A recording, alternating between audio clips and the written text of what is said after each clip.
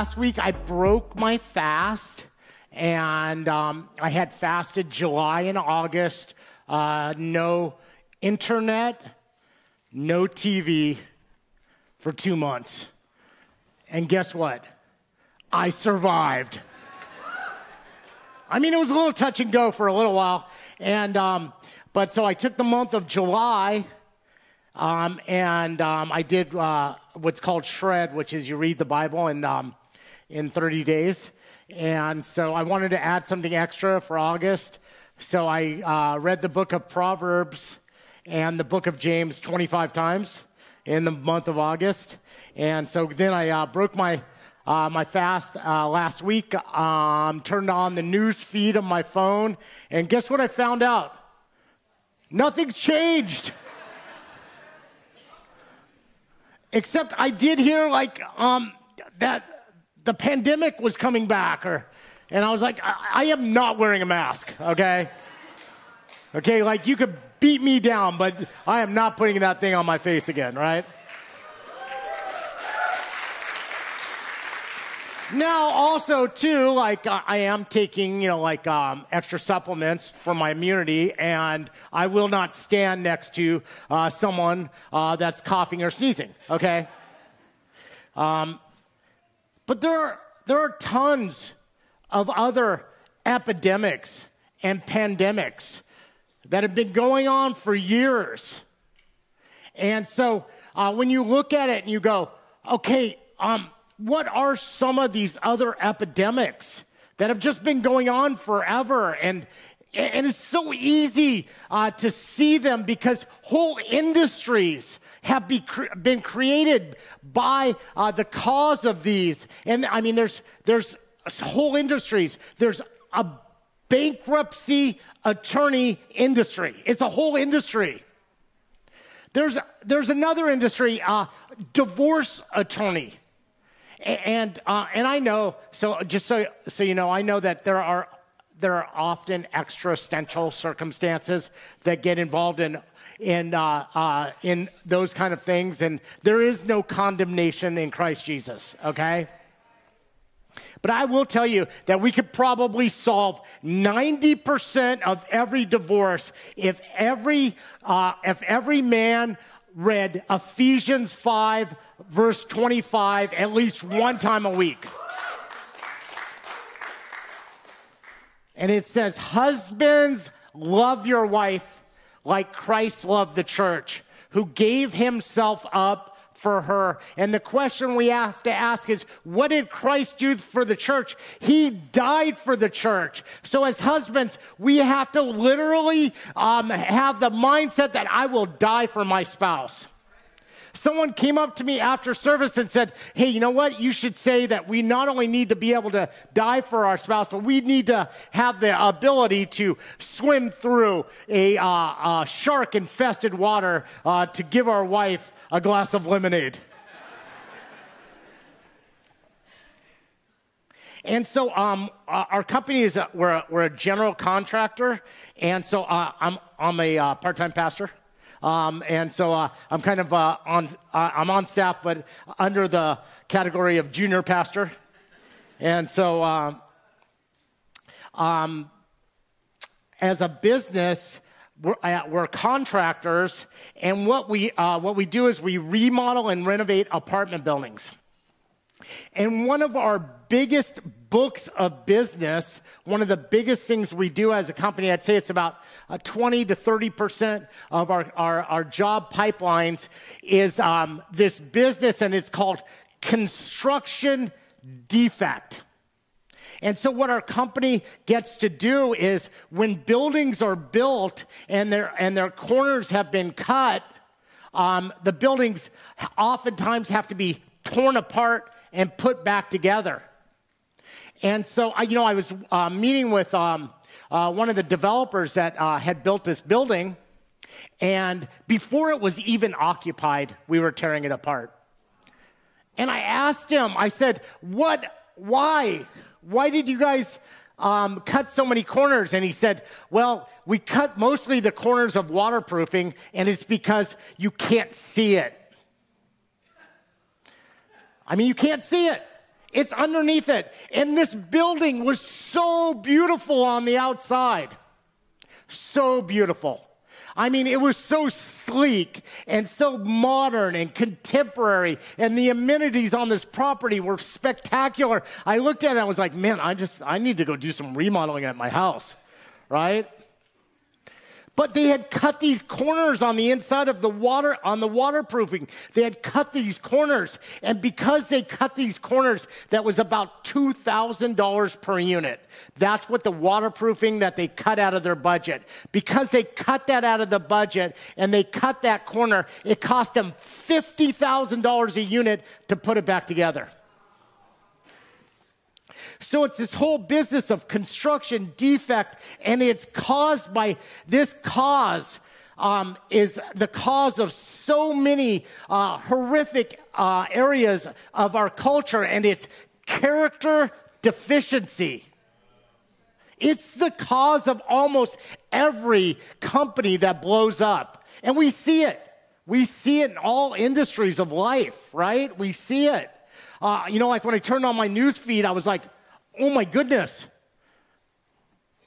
The, you know, the, uh, the probably uh, the best young pitcher that the Dodgers have, his, he's not even part of the team anymore. And it's not just that he wasn't part of the team, like they literally removed his locker from the locker room. They covered up every picture of him from the stadium. And why? Because he had a Uh, because he had a character defect. He had a deficiency in his character, and it doesn't matter how talented you are. You know, talent is God given. Character has to be built. And if you have the choice of both, if you have the choice of one, pick character. Pick character. We're talking about character today, building our character building our character. Because, church, it's a core value of our church. It's a core value of our mission statement to become more like Jesus. But even more than it's a core value of our church, it's a core value of being a follower of Jesus. And so, uh, hey, we had our, our marketplace uh, this last Friday night. raise your hand if you were there. It was so good. It was so good. We had 200 people, and I, I just want to let you know if you want to be part, or you have, uh, you know, if you uh, are in the marketplace, which means that you work vocationally outside of the church, and you want to be part of our group, we are your people.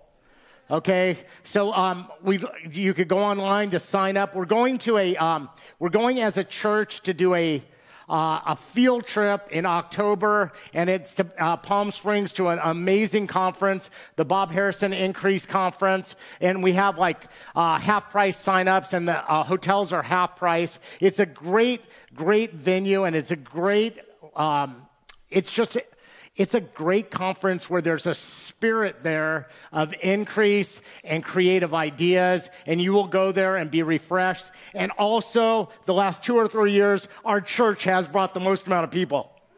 Okay, so I got, we got to keep our streak.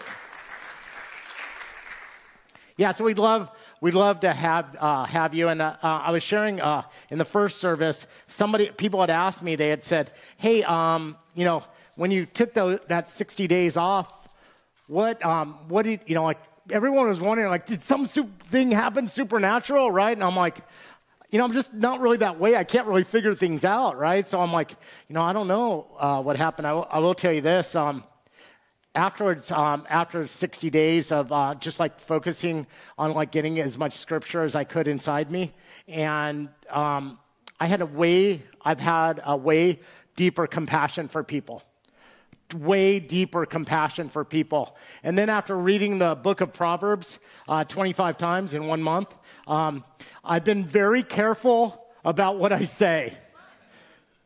Because the scripture says, even a fool is thought wise if he keeps silent.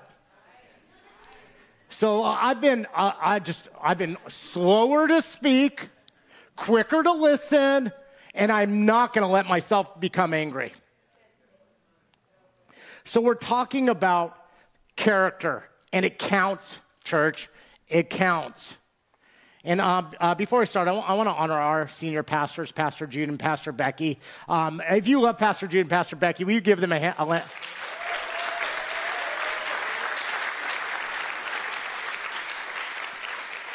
so many things I love about them, but I, I will say one thing is that they see the greatness inside of people.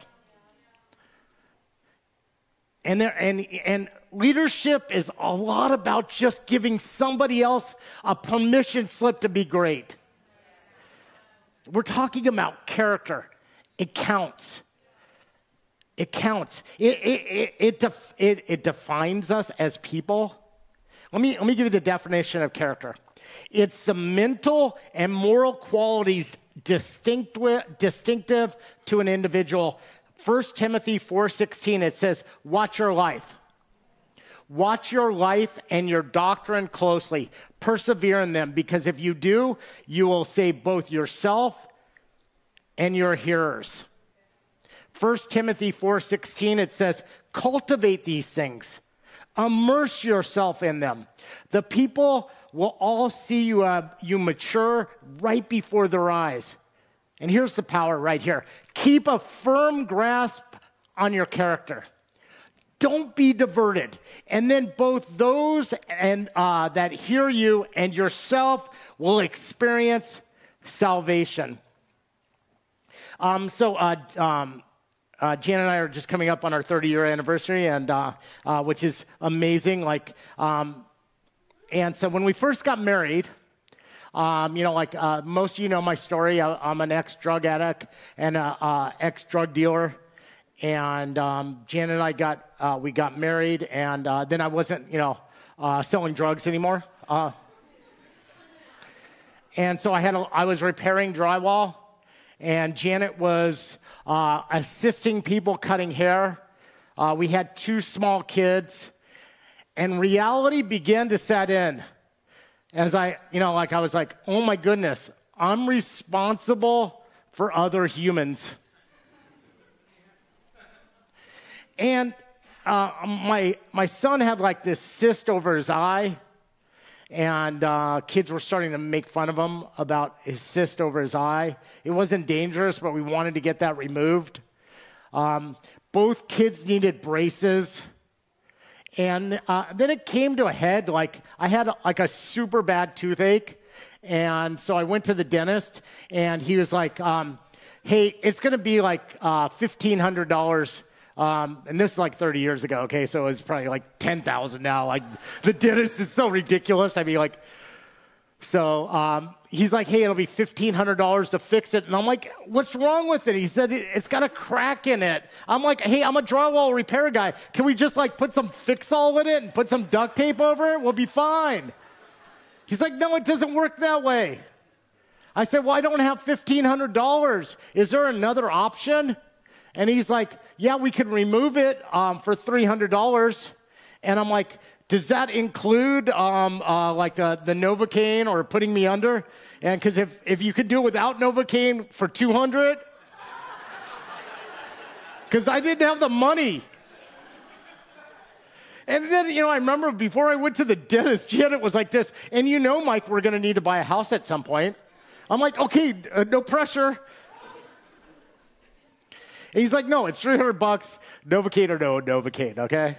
I'm like, okay, yank that thing out. And he's all, I just want to let you know, you're not going to be able to chew on the right side of your mouth and without that tooth. And, um, and I'm like, I'm sorry, my, my kids need braces. I'm not going to spend the kids' brace, braces money on one tooth, right? And so um, he took the tooth out, and uh, turns out he was right. I couldn't chew on that side. But strangely enough, you could still be chubby and chew on one side of your mouth.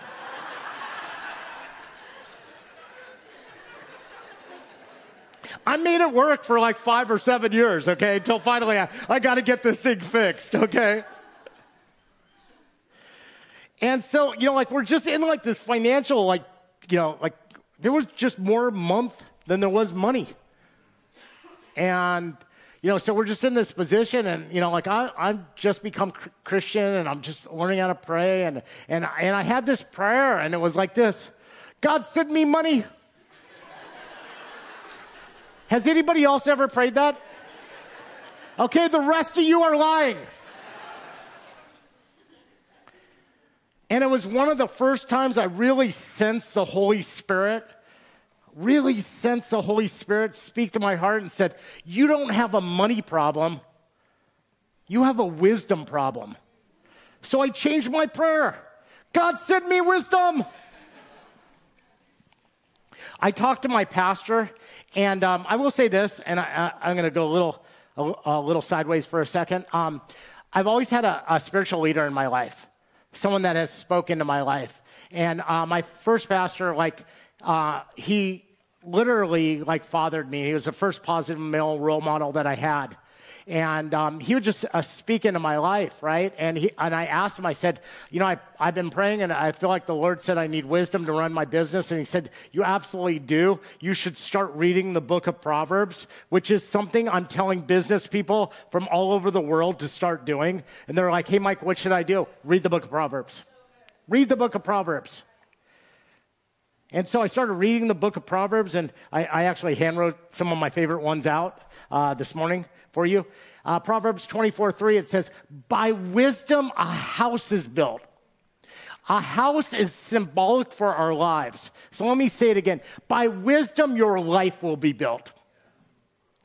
And through, uh, through understanding, its rooms will be filled with rare and beautiful treasure.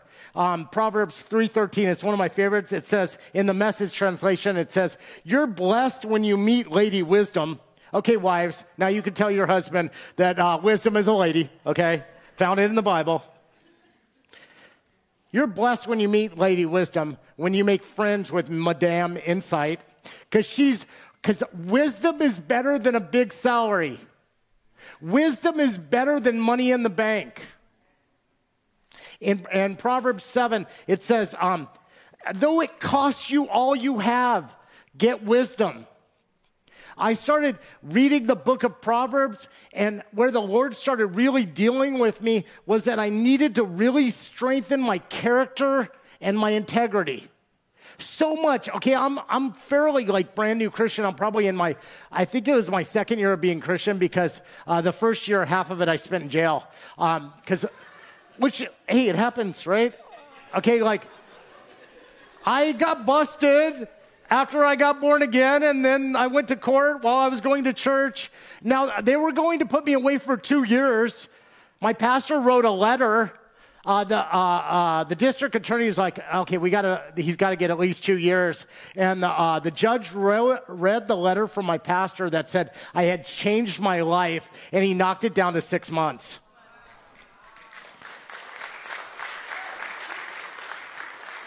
And when I tell the story, Jeff, I'll make sure you tell them that you went to work furlough, okay? It, they used to call Camp Snoopy, okay? It was like, you know, summer camp almost, right? You, I went to jail at night and I got, I got out to go to work during the day. I mean, it was, it was fine except that, like you know, I slept with, you know, 10 guys in one room. I mean, and um, I snored so bad that they were going to shank me, but.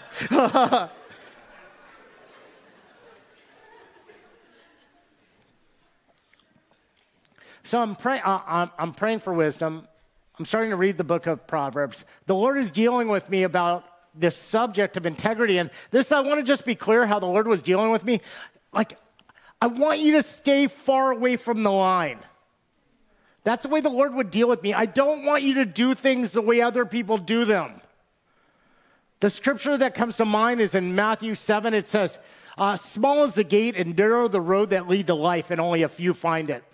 I was so excited about this uh, revelation that the Lord was giving me that I went out and told one of my friends that was fur, way further along uh, than me in business. I said, I want to do it without cheating. I want to do what we're doing and I wanted to give God glory. And this is what he said. I, I, I, I thought he would be like, oh, that's a great idea. He's like, there's no way you could make it without cheating. He was wrong. After three or four years, he went out of business. My business had grown like 50 times. He was wrong. I went to my pastor and I was like, before, uh, uh, before my business had started growing, I went to my pastor and I'm like, hey, God is really dealing with me about my character and integrity. And I believe it's because of my past. And I believe that it has disqualified me for what God has for me. And I just want to tell you this that does not disqualify you. This is what he said. He said, Mike, this is your past character flaws do not disqualify you. They do not disqualify you for what God has for you. He gave me the verse 2 Corinthians 5 17. He says, If anybody be in, if anyone, anyone, if anyone be in Christ, he is a new creation. The old is gone and the new has come. This is what my pastor spoke in my life. He said, if God is dealing with you, uh, dealing with you about this, it's not that he, it's he's setting you up for something, Mike, for your future. This is not about your past. It's about your present and about your future. Let me give you some of my favorite, favorite proverbs about integrity. Let me, uh, um, did I, I don't know if I gave the definite, the character definition is a moral, mental and moral qualities distinctive to an individual. Integrity, the definition is it's a strict, uncompromising adherence to a moral code of ethics. And our moral code is the Word of God. Okay, it's not, uh, uh, it's not culture's uh, uh ethics, it's the Word of God's ethics. Okay, my favorite, some of my favorite scriptures. Proverbs 13, 6. Righteousness guards the man of integrity but wickedness overthrows the sinner.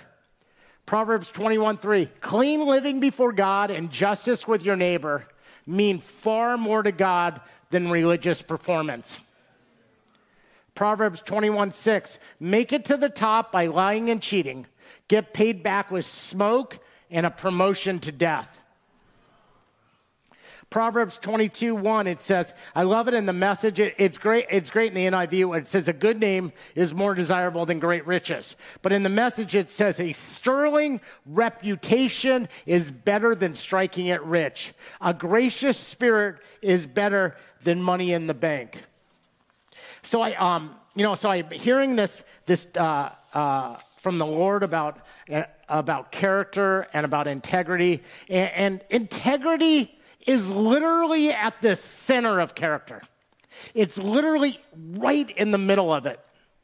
So I'm, I'm trying to learn and, and I'm reading Proverbs and I'm just trying to get it inside me. And, and I picked up a project. And it was, I was there, there was an earthquake in uh, 1994, and this guy had bought a bunch of houses he was going to flip, and he needed someone to do some repairs. So I got hired for the first job.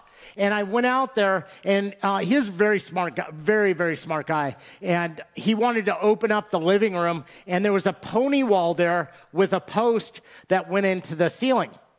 And he said to me, he goes, Hey, I want to I want to remove this pony wall and I want to remove that post to open it up.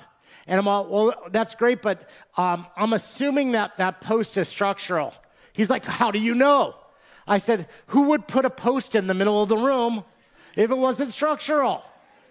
He said, Well, you need to know for sure. I said, Okay, just to know, all I need to do is poke my head in the attic. If the post is coming up and it is connected at all to the roof ridge line, then I know for sure it's structural. I poked my head in the attic. I came back and I said, this, uh, The post is structural. He said, I don't care. I want it removed. I said, Well, that wouldn't be right. He said, I don't care. Either, re- I said, I need to hire an engineer and he needs to do it correctly. He said, listen, if you do not remove this wall and this post, then I am going to fire you and get somebody else. And listen, I needed the job. I really needed the job. And so I said, hey, listen, I can't do it. And he said, can't or won't. I said both. I can't do it and I won't do it. And if you need to, you're going to have to hire somebody else. And then he screamed back at me at the top of his lungs, just do it your way. Prima donna contractor that has to do everything right. I, I, I ended up getting several more jobs for him, and um, uh, it went over a year or two year period. Uh, he called me up on the phone. I went to meet him at the office, at his office, and he goes, "Listen, I've just sold my business."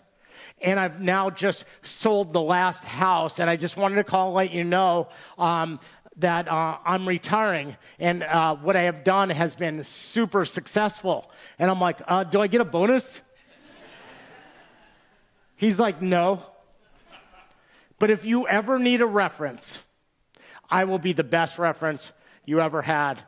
And, um, and I was like, oh, uh, great. And he, and he said one other thing. He said, listen, you did five of the houses, the repairs on five of the houses, and I had other people do the other five. Your five were way more successful. The most successful jobs that were done were the ones that I had worked on. It, it there will be a favor on your life, church. And when I asked him for a bonus after that one, he still said no. But I'll tell you, every time I gave his name as a reference, he, every time somebody called him, I got the job. People started thinking he was related to me. a couple years later, he called me on the phone and uh, he had started to date a woman and he was going to get married and he uh, that uh, uh, the prior week he had went to church with that lady and he had gotten born again and i was the first person he called he said hey i remember this contractor from a couple years ago that was christian and a man of integrity. And then when I went to church, it was such a natural thing for me to raise, uh, raise my hand and accept Jesus.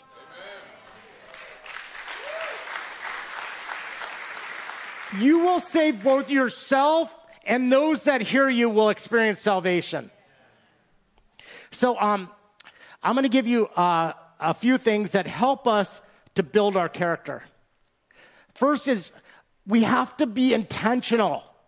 It's something that we have to be intentional about. Jen and I, from the time that we first, uh, she recommitted her life and I first got born again, we, we were intentional. We said, we are going to do it right. We're going to do it right. We're not going to cheat. Uh, Joshua 24 15, it says, as, but as for me and my house, but as for me and my household, we will serve the Lord. Janet and I made a decision, okay? And I want to tell you, we have not been perfect, but we've really tried to be consistent. And so, uh, one thing Janet was, uh, was really strong in uh, is that she said, Hey, Mike, um, we have to do it in the little things too, not just the big things. I, I remember one time um, we were shopping and um, we got into the car and we were driving away, and she's, oh, oh no, they gave me change for a 20. And I said, uh, okay. She said, I only gave them a 10. I said, uh, well, it, it'll take us like 20 minutes to go back. And she said, oh, we have to go back. And I'm like, can we just mail them a check? She's, no, no, this is not a blessing, this is a test. The testing of your faith develops perseverance. Perseverance must finish its work so that you will be mature and complete, not lacking anything. James 1:12 it says blessed is the man that stood t- uh, when they stood the uh, when they've stood the test because they will receive the crown of life to God has promised to those who love him.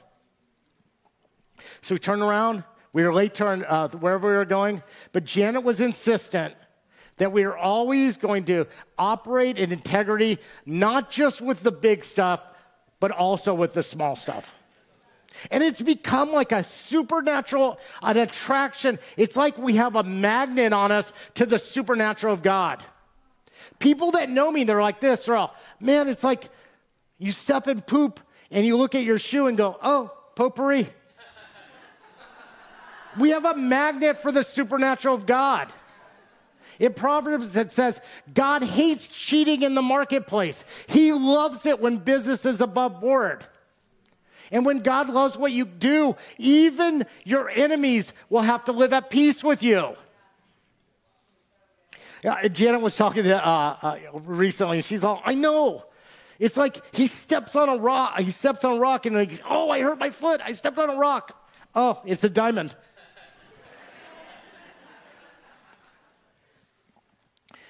And so um, we're talking about um, areas to build our character. And so, um, number two, have accountability.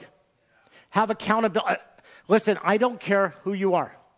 You could, I, you could read your Bible 24 hours a day. You could be like Pastor Jake, okay, that reads his Bible, you know, as much as any person I know, right? Except maybe his dad, okay? they are truly Bible monks. It doesn't matter. We still need to have people that we're accountable to. In fact, let me just say this the further that God grows you, the more accountability you need. Proverbs 27 17, it says, As iron sharpens iron, so one man sharpens another. 1 Corinthians 15 33, it says, Do not be misled. Bad company corrupts good character. So, um, you know, I, I, started getting actually coached by a business coach. I think it was in about 2005. And the first thing he said to me is, Mike, you have to make sure you build up your accountability with people. And so I met with my staff and, and I told them, I was like, hey, listen, um, we need to hold it, uh, our company to the highest level of integrity. And if you see that I'm not reaching it, I'm giving you permission to speak into my life. And they have. You know, I have two people in my life that don't need permission. One is Janet. Okay, she does not need permission to speak into my life, right? I mean, like, uh, when I was a younger Christian, I was on a pretty short leash, okay? And it has a choker chain on it. Right now, she's given me a, long, a little bit of a longer leash, but I know that she can yank that thing at any time. And, and I, I know it sounds silly and funny, but I need it. I need it because, listen, okay, you know the scripture where it says, um, How do you look um, at the sliver in your brother's eye and, uh, and don't see the two by four in your own eye? That scripture is typically taught to about uh, judging others, but uh, there's another deeper principle inside it, and it's this I cannot see inside of my own eyes. I need people around me that can see into my eyes that, that, I, that love me and I've given them permission to speak into my life. Listen, this is what, this is what stops catastrophes. When I was up this morning and I was praying for you, I was like, Lord, may they receive this and may every catastrophe be averted.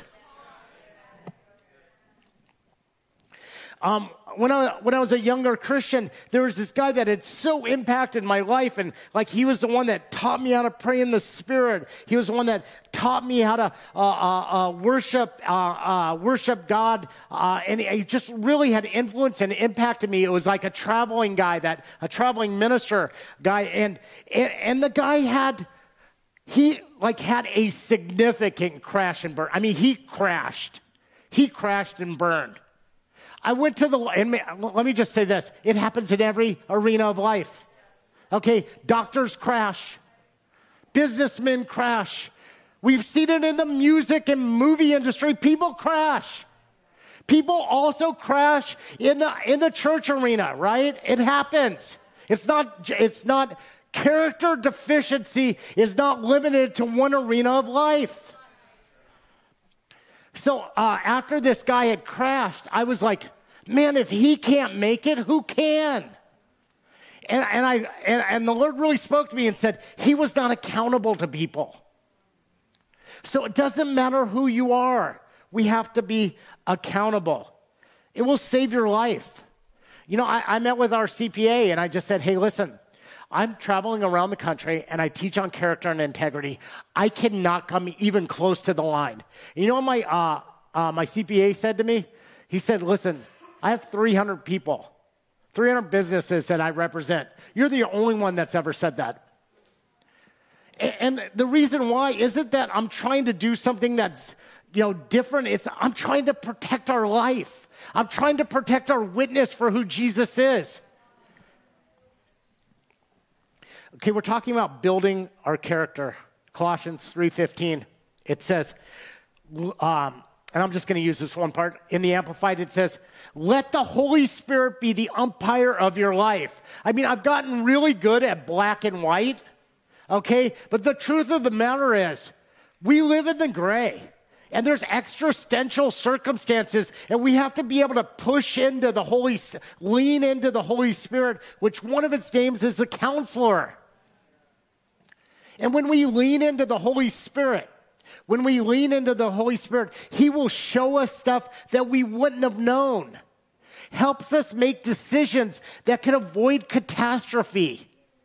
Look at the one guy that, that missed $2,000 worth of waterproofing and it cost him 50,000 times 150. The, let the Holy Spirit be the umpire of your life. And so um, I had gotten, uh, uh, I shared a couple weeks ago that I had, um, I had had a breakthrough job where it was so much bigger than any job that I'd ever done before. And um, I really wanted to serve my clients. I really wanted to serve them. And so I had heard this message on serving, and I really wanted to serve my customers. And so I met with them and I was asking them what they were trying to accomplish. And they, and they, they told me that, hey, listen, most contractors don't really care what we're trying to accomplish. They only care about what they can get from us. And I told them, I said, I want to help you. The uh, definition for serve is to help, to assist, to aid, to add value, to equip. It's, it comes from the same root word in the Greek as the word minister comes from. What is it that we do here? We serve. What is this called? It used to be called a service. Now we call it an experience, but this is a place where people can be ministered to. Value is added to you. So I met with my client, and uh, you know, and I was telling them, you know, like I wanted to help them, and they t- they had a moment where they said, "Hey, we have to get this building done in six months, or we might get fired." You know, I, I, went back to my foreman and I'm like, hey, how long is it going to take us to do this job? And he said, it's one week per building, and there, there was 38 buildings. So um, that's 38 weeks. And I said, no, we have to get it done faster. I promised the owners that we would get it done in six months. And they're like, Mike, there's no way possible. It's not possible.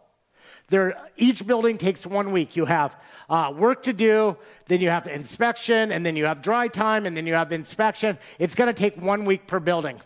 I said, we have to get it done faster. They said, Mike, there's no way. The only way is if we hire a second crew. I'm like, let's do it. We had like 12 guys. It took eight guys to do the, uh, the work of, on one building. We hired four more guys. We kind of switched them up, and I found a little, uh, a little loophole where I could actually start the job a week earlier. And we got out there and we started and we figured out how to do it. And I didn't deliver it to them in six months, I delivered it to them in 19 weeks. I was like their hero.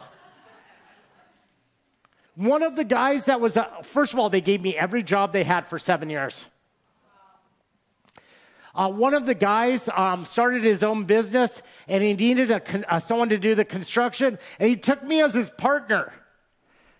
The contractor with his dog in the back of the truck becomes the partner of the guy that was an assistant to a billionaire.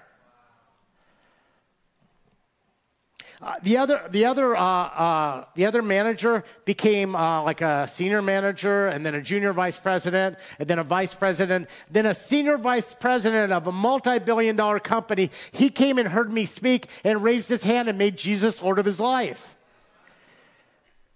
Serving is the key to greatness. Serving is the key to leadership. Jesus did not come to be served. Jesus came to serve. And it builds our character. It builds our character. And so um, that, uh, that went on for like seven years. Like, and, and I was like, listen, I was just, you know, I didn't know anything. I'd have no education. Super, like I had like seven years of like super God dependency, right? And I'm like, like victory after victory. And then um, and then I had a crash. And so this is where it becomes dangerous. See, um, integrity is at the heart of character. Service builds integrity. But humility is what gives it a supernatural power and authority. So I had like seven years, success, victory after victory, and then all of a sudden I crashed. I crashed. I had one job that lost money. I went back to the Lord and I'm like, Lord, how did I lose money? And I felt like the Lord said, You stopped asking me what jobs to take and what jobs not to take. I started thinking I was smart. When you think you're smart, you're really dumb. Don't ever walk into a room and think that you're the smartest person in the room. Because if you think you're the smartest person in the room, then what you do is you disqualify yourself from being able to learn from other people. Jen and I were talking just last night, like, hey, we, you know, if we thought every time we heard a message preached, oh, I heard that before, it disqualifies us from being able to learn. What if we thought, hey, I read the Bible, how come I have to listen to it again? It disqualifies us. I, I you know, I, uh, uh, true story. I was meeting with one of the guys that I work with, and he's like, "Hey, you know, uh, I hear, uh, I heard that uh, when you're the smartest guy in the room, that um, that maybe you're in the wrong room." And I'm like, first of all, bro, it's just me and you in the room. so I don't know what you're trying to say. And maybe you are smarter than me. I don't really think so, but maybe you are. But you are not smarter than my senior vice president, Dave Holland, okay? He's like a genius. You're not smarter than Erica Lopez. I guarantee it, okay? And so uh, it's just when people think, when we think we're smart, we're really stupid. Do not be wise in your own eyes. I forgot that. And I, I ended up getting in a big argument with their, one of their construction managers of the company that had given me jobs for seven years, right? And I, I got angry. And, you know, like, he's like, hey, Mike, you've changed. I had. And I got humbled. See, like, if you do not humble yourself, you will be humbled. And it was pretty humbling to have to stand up in front of my staff and say, hey, I'm sorry. I'm sorry, I lost my temper and we lost the contract. It was very humbling. I, um, I prefer not to do that. If you do not humble yourself, you will be humbled. I was going to write a message called The Five Biggest Mistakes That I've Made. But the problem was, I got to five and I'm like, there's so many more. and, and, and here's the thing is, every mistake Every major mistake that I, have made has been directly related to pride. Every single one of them. Okay, you know, um, Janet's not here because I, I, don't want because she'll take too many too much props for this. Is like every time that Janet and I have not been in uh, unity and I moved forward, it ended up being a bad mistake. I have learned now that I, listen, I will not step forward and do something unless Janet and I are in unity. I don't care. I don't care what anybody else says. If Janet and I are not, because that's where God commands a blessing. There is no benefit for me to do anything that I'm not in unity with my wife about. I, we have a little we have a little rhythm that we do. I come to her, she asks me if I prayed about it. If I hadn't prayed about it, I go back and pray about it. Sometimes I'll go to her, she say, "Hey, I want you to pray about it a second time." It's either green, yellow, or red with her, right? And, and so even when it's green, I have to go back and pray about it and make sure and filter through the Holy Spirit. Humility, which comes from the Greek word praus, which means um, power under perfect control. And let me just say this Jesus is uh, the epitome of humility. Philippians 2 3 through 9, I'm going to read it fast. Do nothing out of selfish ambition or vain conceit. Rather, in humility, value others above yourself, not looking to your own interest, interest but each of you to the interests of others. In your relationships with one another, have the same mindset as Christ Jesus, who, being in very nature of God, did not consider equality with God something to be used for his own advantage. Rather, he made himself nothing by taking the very nature of a servant, being made in human likeness, and being found in, in appearance as a man, he humbled himself by becoming obedient to death, even death on a cross. cross. Therefore, God exalted him to the highest place and gave him the name above every other name, and the name that uh, that every at every tongue shall and shall bow. Proverbs 3:10 Where there is strife there is pride. You know, um, becoming or being a peacemaker, as far as it depends on you, live at peace with everyone. You know, I um, one of the guys that I work with, uh, we we've worked we've known each other since we were in junior high school, and um, uh, he came and we were talking, and he told me, "Hey, I'm gonna I'm gonna get divorced. My wife and I are gonna get divorced." And um, I really felt strongly that they would get back together, so I spoke it out of my mouth. And, you have you just church you have the benefit that you have Jesus on the inside of you and you can speak life into people. And so I, I was like, every time I saw him, I was like, John, you and Angie are going to get back together. He's like, no, we're divorced. He's and then he, and then I'd say it again. He's like, she's dating somebody else. And then and then he'd say he was dating somebody else, and I'd say, I don't care. You need to break up with that other girl because you and Angie are getting back together. And so uh, uh, after a few years, um, one Saturday, he called me on the phone and we met at my office. Um, and this is a rough construction guy, okay? Rough. We sit down next to each other on a Saturday and he goes like this to me. He goes, Hey, Mike, will you pray with me? I want to accept Jesus.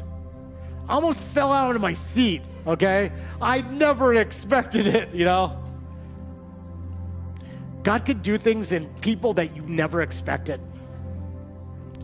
I prayed the prayer with him and, and he raised his hand and he accepted Jesus. And right when I was done, he goes, Mike, Angie and I, we got back together. Which is cool. It's uh, which was which was amazing, right? And but it almost didn't happen.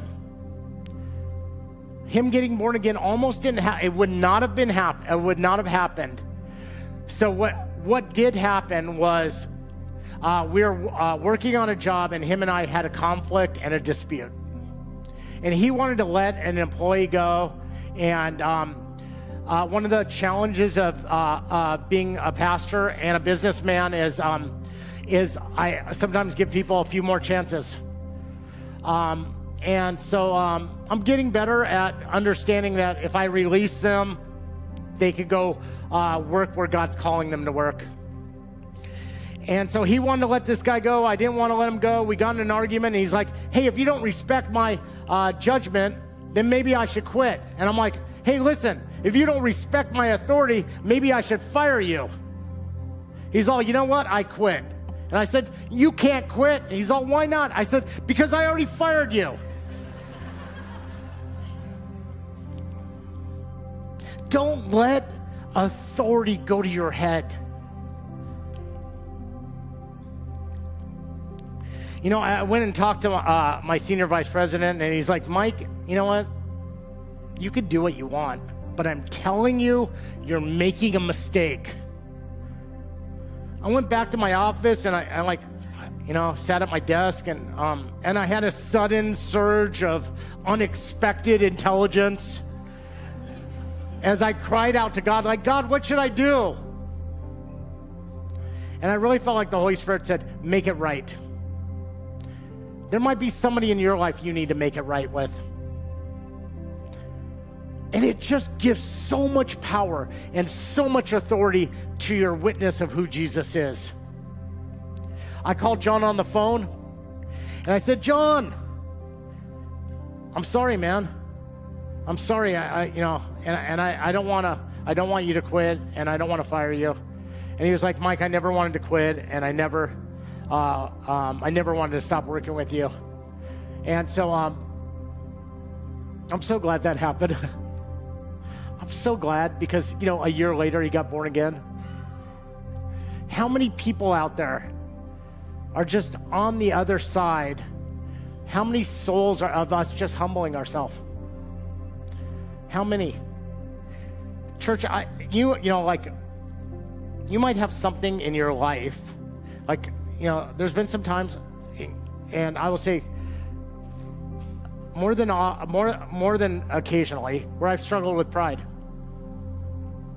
And um, with, um, with every eye closed, I want to just ask you: Is there some area of your life that you're struggling with? And um, I was praying for you this morning, and the scripture came up. Can you put it up for me? It's 2 Timothy 2 20 and 21, and it's such, in the NIV, it's such a beautiful scripture if possible. I could quote it if not. In a large house, there are items of gold and silver and of wood and clay. Some are for noble purposes, and some are for ignoble purposes. If a man will cleanse himself from the latter, he will become useful for the master for every good work. There might be something in your life, and, I, and I, I'm just going to say there's something in every single one of our lives that we need to cleanse ourselves from so that we can be useful for the master for every good work. So, Lord, I just lift up the people of the city church. I lift them up to you, God. I thank you, God, as um, uh, and I just ask you, search our hearts, oh God. God, search our hearts and point out anything that's detestable to you, Lord. And, show us, Lord, and send us on the way everlasting. Lord, I thank you, God, that, uh, that we are aware. We are aware of a spirit of pride, and I bind that very spirit of pride right now in Jesus' name. God, I thank you that we have a spirit of humility that can only be accessed by spending time and, and, uh, and our connection to you, Jesus, who are you, who you are the, the clear example of humility. Thank you, God. We just thank you, God. And I just thank you, God. Uh, uh, my prayer this morning for you, uh, uh, for our churches, that we would be known as the church with the highest character of any church anywhere. I just declare that over, over, the, uh, over your lives. I declare it. We are people of high character. We love God more than most men love God, and we are people of integrity.